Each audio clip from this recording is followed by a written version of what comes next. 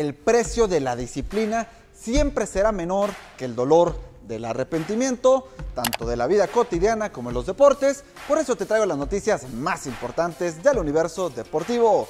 Para empezar, es el turno al bat del béisbol internacional.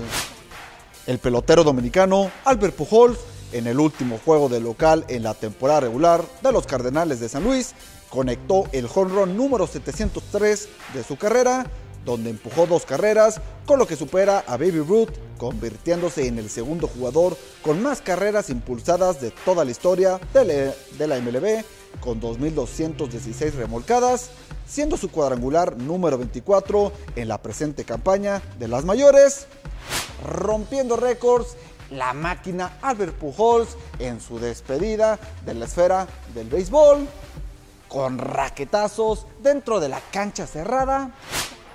Los raquetbolistas mexicanos Álvaro Beltrán y Daniel de la Rosa defendieron con éxito su título, proclamándose bicampeones en la modalidad de dobles del US Open Racquetball, disputando la final ante la dupla estadounidense de Jake y Sam Bredenbeck, a quienes derrotaron por 14 a 15, 15 a 10 y 11 a 4.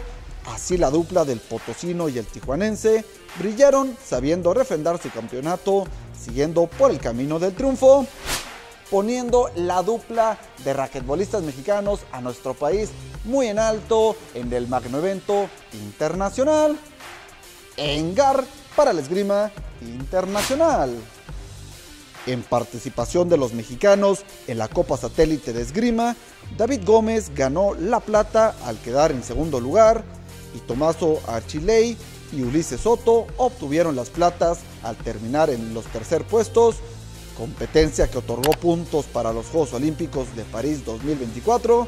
También sirvió de selectivo para los Juegos Centroamericanos y del Caribe de San Salvador 2023 y los Juegos Panamericanos de Santiago 2023.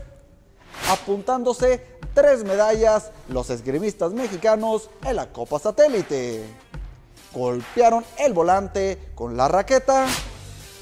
En la serie internacional de badminton, los mexicanos Vanessa García y Lino Muñoz lograron adjudicarse la plata y el bronce respectivamente en la modalidad femenil y varonil individual. La leonesa en la lucha por la medalla de oro cayó ante la búlgara Cristomira Popovska por 22 a 20 y 21 a 15 y el mexiqueño culminó siendo superado en la semifinal por el salvadoreño Uriel Canjura por marcador de 12 a 21, 21 a 9 y 21 a 14, sumando puntos muy importantes los jugadores mexicanos dentro del ranking internacional de badminton. Y por último, pero no menos importante, vamos a hablar porque rodará el balón del fútbol mexicano.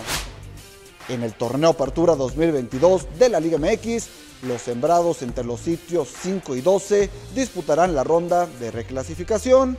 Los cuatro partidos serán el sábado 8 en el Estadio Universitario a las 7 de la tarde, Tigres contra Necaxa.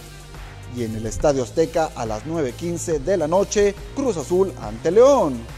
Y el domingo 9 en el Estadio Nemesio 10 a las 12 de la tarde, Toluca contra Juárez y en el Estadio Cuauhtémoc a las seis y media de la tarde, Puebla ante Chivas. Ya casi es momento de despedirme, pero antes quiero invitarlos a que se sigan actualizando con la información verificada de lo que acontece en el universo deportivo, como de otros temas de interés. Así que síguenos en las redes sociales. Estamos en Facebook, Twitter, Instagram, YouTube y TikTok como a tiempo.tv. Y para realizar cualquier denuncia ciudadana, contáctanos al 844 398 98. Así que me despido por el día de hoy, pero les recuerdo que en A Tiempo TV estamos para ayudarte.